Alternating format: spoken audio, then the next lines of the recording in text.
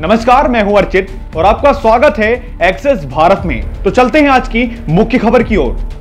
पंजाब विधानसभा का special session रद्द किया जाने से खफा आम आदमी पार्टी ने चंडीगढ़ में विधानसभा परिसर से मुख्य चौक तक पैदल मार्च निकाला। सभी मंत्री और विधायक विधानसभा परिसर से लेकर मुख्य चौक तक पैदल मार्च करते हुए पहुँचे। इस दौरान वे लगातार भाजपा, मुर्दाबाद, कांग्रेस, मुर्दाबाद पैसा तंत्र बंद करो बंद करो के नारे लगाते रहे। विधायक मीत हेयर समेत आपके अन्य समर्थक विधायकों ने भाजपा पर लोकतंत्र की हत्या करने के आरोप लगाए।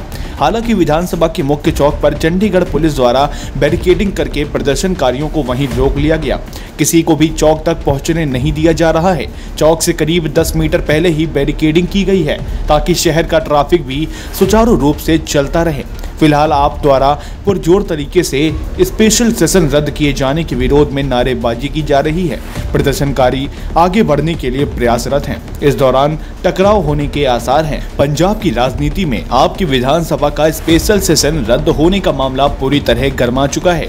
इसके संबंध में सीएम भगवंत मान ने कैबिनेट मीटिंग बुलाई है। इसमें आपके मंत्री आगामी रणनीति पर चर्चा कर एक्शन प्लान तैयार करेंगे। आप द्वारा भाजपा के फैसले पर पलटवार करने पर चर्चा की जाएगी। सीएम भगवंत मान ने वीडियो जारी कर कहा था, लोगों का भरोसा कितना मज़बूत है। ये कानूनी रूप से दिखाने के लिए 22 सितंबर को पंजाब विधानसभा का स्पेशल सेशन बुलाने का फैसला लिया गया। बीते दिनों लोगों ने देखा कि लोटस ऑपरेशन के तहत किस प्रकार भाजपा के लोगों ने आपके विधायकों से संपर्क कर उन्हें पैसे और अन्य प्रकार के लालच दिए।